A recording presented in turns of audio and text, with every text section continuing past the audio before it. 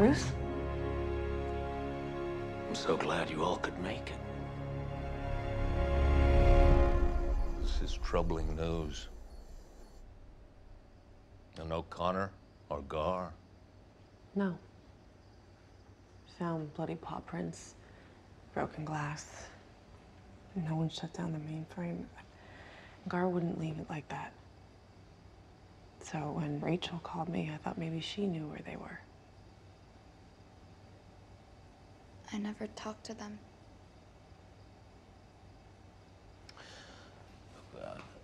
I'm aware of what's happened to all of you, and uh, I'm sorry. Lies can tear a family apart, and you've been living in the aftermath of that, and it's a lonely place to be. But this was a. This is a family of choice. Breaking apart was a choice. In the light of this news, I'm asking you to make another one. To come together. Walking away from bad feelings is easy.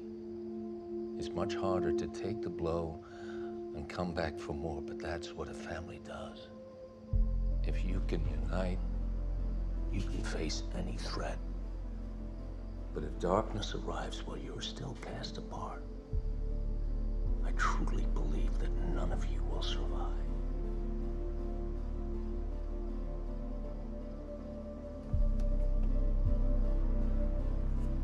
If you won't protect one another, who will?